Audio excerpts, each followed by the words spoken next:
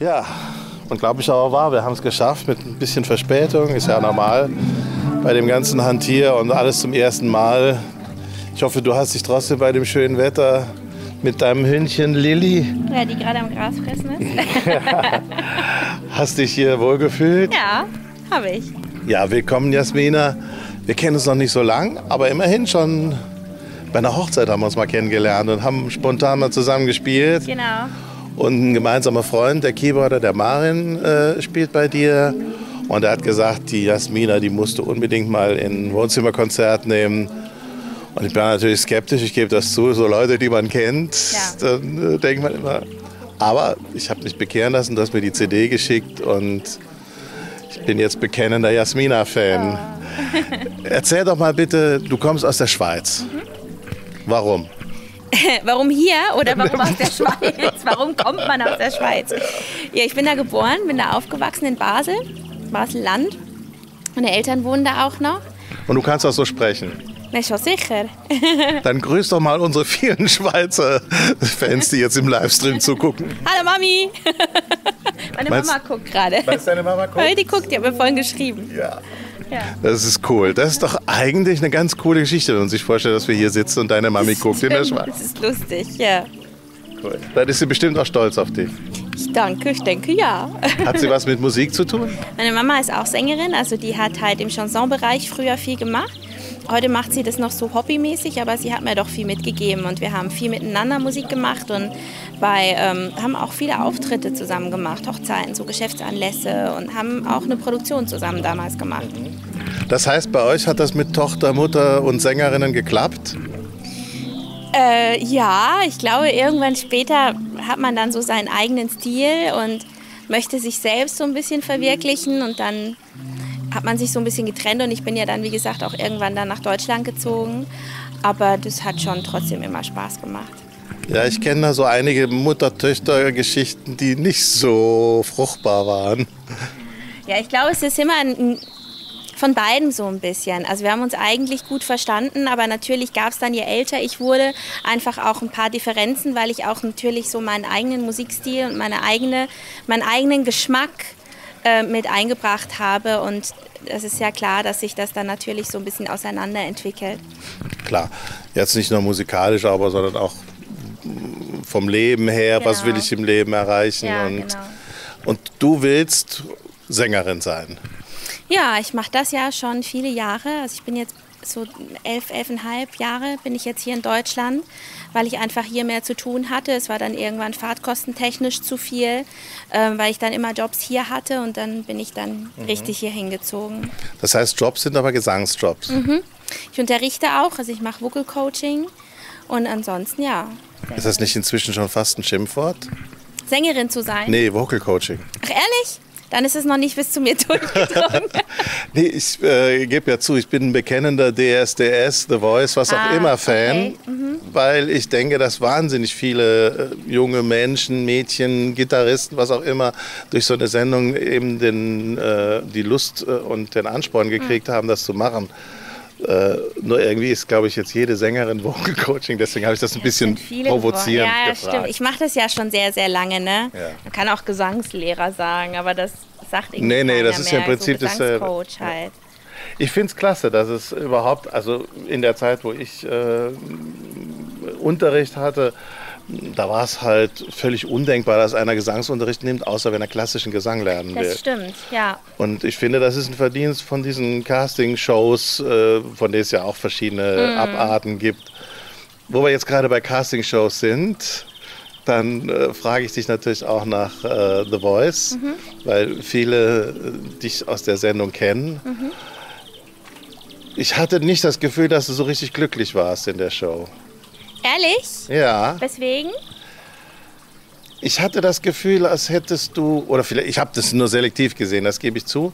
Äh, und äh, ich bin mit dem Percy äh, verbandelt und Mhm. Ja. Mhm. habe das natürlich, und, und Pamela und so.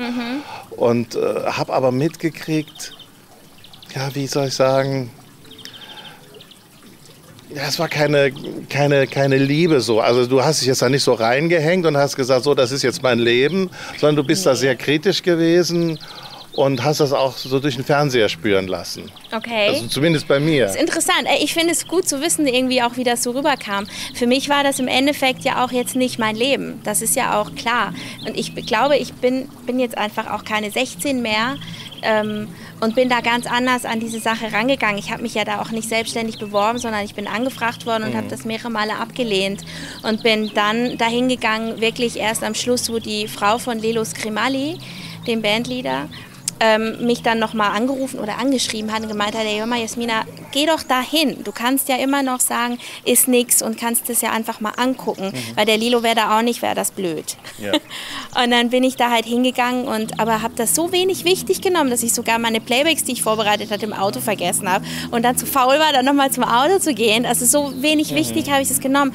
Aber im Endeffekt habe ich dann schon ein bisschen Blut, ge, ge, wie sagt man, geleckt, genau, weil das für mich schon ähm, ja, es war ja trotzdem eine Chance, ja. einfach auch eine größere Fangemeinde zu kriegen und äh, Finde ich eigentlich auch gerade. The ja. Voice ist ja eigentlich eine Promotion-Ebene für professionelle Sänger. Ob ja. jetzt äh, Galasänger oder Leute mit eigenem Repertoire. Mhm. Es ist ja eine gute Chance, äh, einen Namen zu machen, auf den man bei, bei der Werbung, bei der Jobakquise zurückgreifen kann. Genau, denke ich auch. Ja. Ja, ich denke auch, ich habe das so genutzt und ich hatte eigentlich auch Spaß. Also ich fand es schon eigentlich eine schöne Sache, aber ich denke, ich bin, ich bin halt schon doch so durchleuchtet, dass ich dann auch irgendwie gucke, was ich da so von mir lasse und was ich da so sage. Und das meine ich auch mit, ich bin nicht mehr 16. Also ich gehe jetzt nicht dahin unbedarft und erzähle mhm. alles oder gebe auf alles Antworten, sondern hab schon, war schon darauf mhm. bedacht, was ich da so von mir gebe. Ja, du, du hast gesagt Job äh, und äh, was heißt Job? Also lebst du von deiner eigenen Musik oder äh, singst du auf Galas und Events oder Jazzveranstaltungen oder was machst du? Ähm, also oder bügelst du? nee, weißt du was, ich kann knitterfrei aufhängen. ja, für dich selber, aber nicht für andere. ja, für mich. Ich hasse Bügeln. Nein, ich habe... Ähm, ähm, was genau war da eine Frage jetzt? Jetzt bin ich nämlich mit dem Bügeln irgendwie hängen geblieben. das werde ich bemerken, dass sich das so fasziniert hat. Nee, äh, Lebensunterhalt letzten so. Endes. Ja. Du sagst, seit elf Jahren lebst du vom Musikmachen. Mhm. Ja, also ich, es ist viel über eigenes. Also jetzt mein drittes Album, was gerade rausgekommen Gesangsunterricht ist. war das Gesangsunterricht, genau.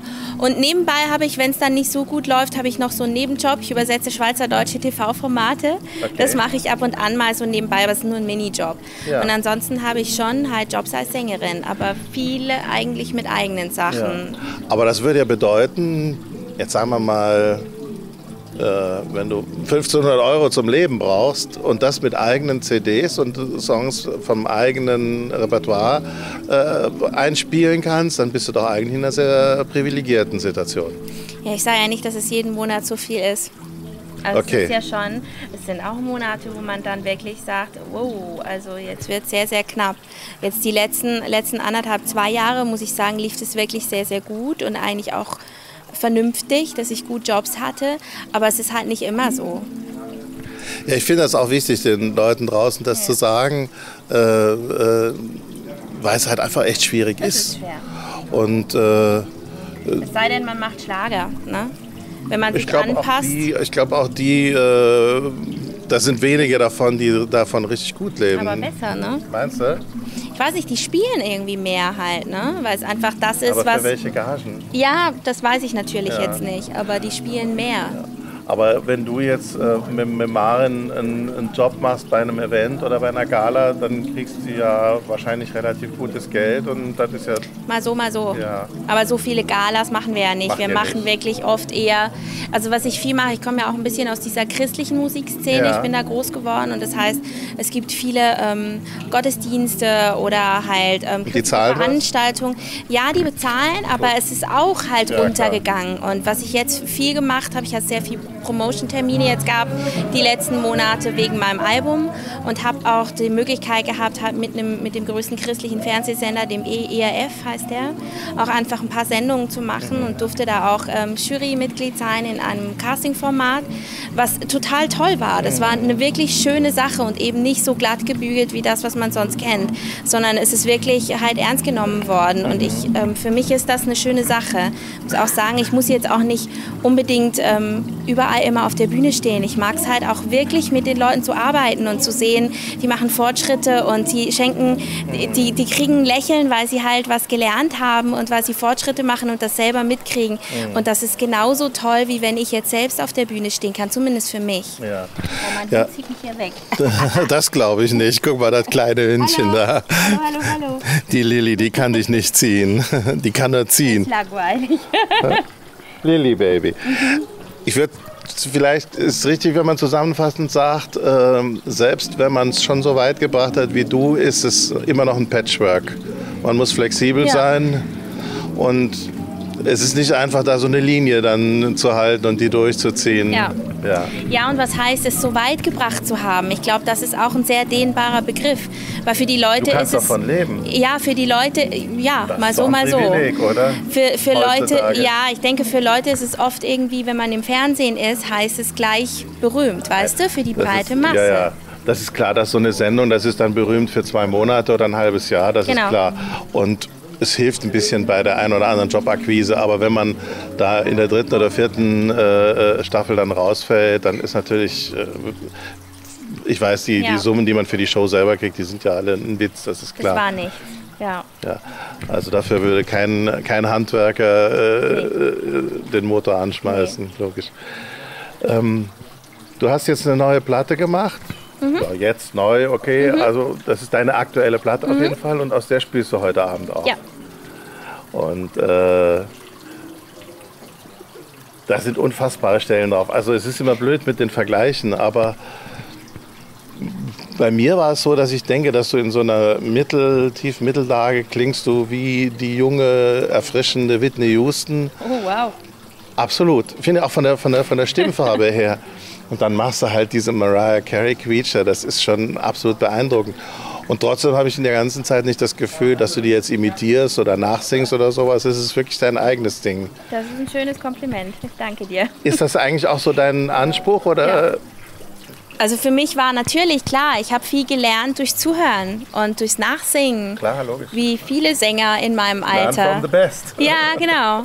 Und ähm, habe natürlich Mariah Carey Schnörkel nachgesungen, obwohl ich die nicht alle singen kann. Die fiebt ja, so Töne, die kriege ich auch nicht, by the way. ähm, ja, aber für mich war es auch wichtig, einfach eigenständig zu klingen. Ich habe allerdings auch immer wieder die Kritik gekriegt, ja, du klingst wie oder du klingst wie da, die oder der. Ich glaube, was für die Leute einfacher ist, zu schubladisieren. Aber ähm, aber es ist dann doch auch schön, mhm. wenn man halt eigene Songs singt und dann auch die Möglichkeit hat, einen eigenen Stil da fließen zu lassen und die Leute dann auch irgendwann mitkriegen. Es ist eben nicht nur nachgesungen. Ja klar, ich meine, das mit dem Schubladisieren geht ja nicht anders. Wenn ich jetzt jemandem erzählen soll, wie klingt die Jasmina, dann würde ich das so schildern mhm. und würde halt natürlich, wäre mein letzter Satz dann, aber sie klingt eben letzten Endes wie sie selber. Mhm. Aber äh, um das äh, zu beschreiben, muss man ja auf Sachen zurückgreifen, die der, der es hört, auch kennt. Und insofern, genau. Äh, das finde ich gar nicht schlimm. Es sind unfassbare Songs da drauf. Äh, ich fand jetzt so die heftigen Songs äh, äh nicht so, also die, sind ja mhm. sehr wie soll ich sagen, filmmusikalische. Mhm. Ein, einer erinnert mich an, an, an James Bond, mhm. so von der ganzen Aufwendigkeit der Produktion her oder mhm. sowas. Also mir äh, gefallen die leisen Töne ganz besonders gut. Was ist dein Lieblingssong? Mein Lieblingssong heißt ähm, Blanket for My Heart. Das ist für mich ein toller Song. Das wäre auch die ähm, Single gewesen bei The Voice. Die hatte ich mit tollen, tollen Songwritern schreiben dürfen da. Und ansonsten halt bedeutet mir When You Believe sehr viel, weil das halt so mein Baby ist. Das ist, war so der erste Song, wo ich überhaupt angefangen habe, Songwriting zu machen, weil ich immer dachte, dass ich das nicht kann. Natürlich mhm. hat der viele, viele Stationen ähm, durchlebt, dieser Song. Und mit vielen Leuten habe ich an dem Song gearbeitet, bis er zu dem wurde, was er jetzt ist. Aber es ist mein Baby und mhm. somit natürlich ein wichtiger Song für mich. Mhm. Was würdest du dir denn jetzt wünschen, wenn die richtigen Leute im Stream sitzen oder später auf äh, YouTube oder äh, auf welchem Channel auch immer das Interview sehen? Wenn da, wer wäre der richtige Mann, der jetzt da sitzt oder die richtige Frau und sagt, so, mit der Jasmina, da könnte ich mir dieses oder jenes vorstellen? Ich möchte mit David Garrett auf Tour. Wirklich? Ja, würde ich cool finden. Also ich habe ja lange in Aachen gelebt, aber der kam mir jetzt eher äh, seltsam rüber, oder? Ehrlich? Ja, aber ich finde es halt so musikalisch passend. Du meinst, weil der Bogen so breit ist, oder warum? Ja, ich, ich glaube, es würde musikalisch passen. Okay. So mit dem, was ich so mache, so mit vielen Streichern und so. Ich kann mir das vorstellen. Okay. Und ansonsten, äh, das ist ja nur eine Idee. Wir ja. möchten gerne spielen. Wir ja. sind im Moment wirklich also dabei. Ein, ein geiler Booker oder hast ja, du nee, Booker? leider nicht. Also, also, das ist wirklich wichtig. Alle Booker. genau. Hier, Jasmina. Und auch bei mir melden. Ich habe ganz viele tolle Künstler für Booker. Äh, also ein Booker, ein toller. Ja. Eine Plattenfirma, die an sowas glaubt, wäre natürlich auch nicht richtig schlimm. Ja, also ich habe ja jetzt ein, ich arbeite mit Gerd Medien, das mhm. ist ähm, aber eher ein Verlag. Ja. Die arbeiten ähm, oder gehören zu ähm, Bertelsmann Random House. Und die haben schon viel gemacht, aber ja. die sind natürlich auch begrenzt. Ne? Die sind auch offen, wirklich mit einem Vertrieb zu arbeiten mhm. oder so. Aber das hat sich bis jetzt einfach nicht ergeben. Ja, aber wer weiß. Genau. Wenn man nichts drüber redet, kann es nicht passieren. Das hast du recht, das stimmt. Okay. Ja, ich würde sagen, hast du noch was, was du unbedingt den Zuschauern, den Zuhörern. Ich glaube, du hast mich vorher erinnert, dass ich dich erinnern soll. ich danke dir. Ich vergesse es jedes Mal. Die aus meiner Sicht eigentlich wichtigsten Fragen, die es zumindest sein müssten. Unsere Sendung heißt ja Song of My Life. Und wie wir uns das ausgedacht haben, äh, war die Idee, dass wir es gerne hätten, dass die Sänger eben auch mal anders erklingen, als sie auf ihrer Tour oder auf ihren Konzerten sonst klingen. Mhm. Und wir haben uns natürlich gewünscht, dass die Fallhöhe möglichst hoch ist, also dass es möglichst weit weg vom normalen Repertoire ist. Mhm. Und deswegen muss, muss jeder zwei Pflichtsongs singen. Das eine ist der First Song, das heißt, der erste Song, der eine wichtige Bedeutung im Leben hat. Das muss jetzt keine musikalische sein, sondern es hätte auch der erste Kuss oder die erste mhm. CD oder sowas sein. Was ist denn dein First Song? Ja, ich wurde ja genötigt, ne? ich weiß. Also ursprünglich war ja gedacht, dass ich mit meiner Mama zusammen was singe. Das wäre natürlich der absolute Wahn gewesen. Ja, ja das haben wir alles versucht, aber es hat leider nicht genau, geklappt. Nochmal, hallo Mama. Hallo Mami. Und deswegen ähm, wurde ich jetzt genötigt zu jodeln, was ich machen werde. Und ähm, das ist halt etwas, was ähm, ja meine Oma halt meiner Mutter und meiner Patentante ähm, weitergegeben hat. Und die Mama hat es halt mir gelernt und das ist, kommt in Deutschland irgendwie ganz gut an, besser als in der Schweiz. Ich muss sagen, ich bin stolz auf mich. Ihr könnt euch nicht vorstellen, wie schwierig das war, Jasmina zum Jodeln zu kriegen. Äh, aber ihr werdet sehen, sie wird das unfassbar geil machen und äh, es wird sowohl für sie als auch für euch eine neue Erfahrung werden. Also, First Song ist Jodeln, Oma, Mutter, Schweizer Tradition. Genau. Das ist perfekt, das ist genau so, wie wir es uns erträumt haben. Und vielen Dank, dass du das machst.